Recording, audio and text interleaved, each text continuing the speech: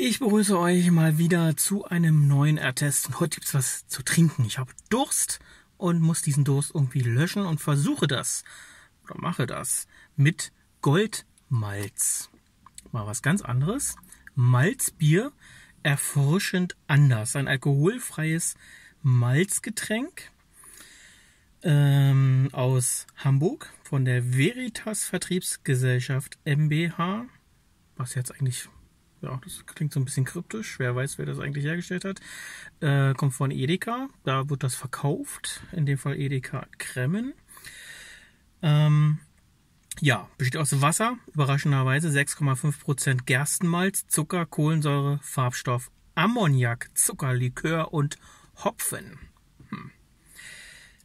Zucker übrigens 7,5 Gramm in 100 Milliliter und das ist ja jetzt auch nicht so ganz ohne, sag ich mal. Ne?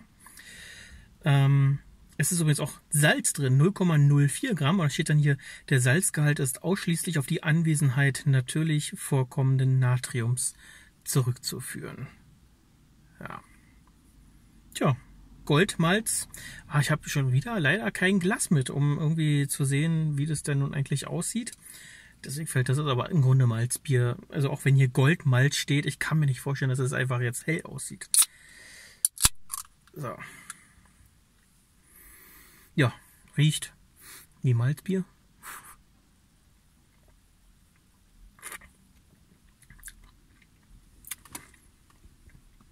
Also eigentlich ist ja Malzbier immer total lecker und auch dieses Malzbier schmeckt wirklich gut. Es ist relativ süßlich.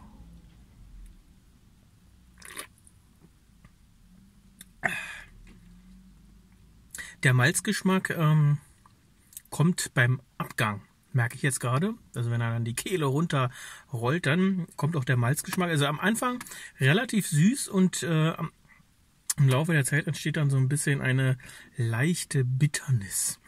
Und äh, das ist letztlich eigentlich dann tatsächlich ganz lecker. Andererseits merke ich auch kaum einen Unterschied zu anderen Malzbiersorten. Insofern erfrischend anders bezieht sich, kann sich eigentlich aus meiner Sicht höchstens auf das Malzbier an sich beziehen. Ansonsten ist das jetzt nicht so sehr viel anders als andere Malzbiersorten. Vielleicht nicht ganz so süß wie andere Malzbiersorten. Aber ansonsten äh, könnte ich, ansonsten könnte ich jetzt dieses erfrischend anders jetzt nicht so wirklich bestätigen. Danke und bis zum nächsten Mal.